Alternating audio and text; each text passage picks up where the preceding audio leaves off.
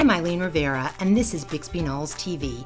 My team and I are committed to introducing you to the people, the businesses, and the homes of Bixby Knolls and the surrounding area. I hope that you enjoyed today's episode, and I look forward to seeing you in the neighborhood. Hi, my name is Jose with the Rivera Group. I have the pleasure today of interviewing the owner of Lola's Mexican Cuisine. Can you tell me a little bit about the, the story or history of Lola's? Yeah, of course. Um, so Lola's uh, Mexican cuisine uh, opened in 2008. It was my mother's dream. What is the restaurant? So it was kind of like a family affair, and we kind of all rallied to open up with her. First restaurant was on 4th Street. We recently just opened up our second restaurant here in Bixby Knolls, and that's kind of uh, how everything got started. Now, I see that you opened this restaurant not that long ago.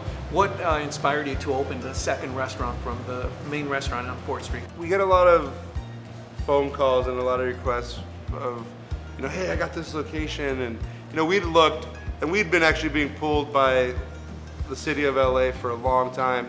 We went out to LA, this is about four or five years ago. We looked around and we just never found that right location. The whole time that this is going on, we're trying to figure out where we're gonna go. Uh, Blair, Blair Cohn, I call him the godfather up here in Bixby Knolls. And the whole time he kind of kept a pulse on us. You know, he'd send an occasional email, give us an occasional phone call. Hey, we're still here. Hey, this is going on. We got word that this location where we are, uh, 4140 Atlantic Avenue, was going to become available. I looked at it and this was the one that spoke to me. Right. This was the one was like, okay, like we can do this. This feels right, and I could feel it in my heart. And uh, and yeah, and we just chose to move forward with it. In, in terms of your restaurant, is there anything, a special dish that is favorite of yours? For me personally, I like to stick with the traditional dishes, and the two dishes would be the chile relleno. And the reason for that is uh, it was my mom's favorite. I mean, she ate that one like pretty much every day. And then there's one that is uh, our birria, you know, and that's um, a dish that really represents uh, where my family roots are from, which is Guadalajara. Now, I see you have a large selection of alcohol here. Is there any special drink that you guys are known for, or is there a special drink that you like, or a special drink that uh, you recommend? There's actually three cocktails that are my personal favorites. One would be the telenovela. Um, it's made with our house infused pineapple tequila.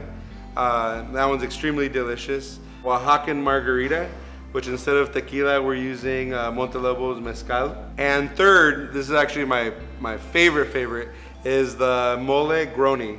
So it's like our take on a Negroni. Wonderful. That sounds delicious. Definitely to try one of those. Luis, thank you very much for letting us uh, interview you today.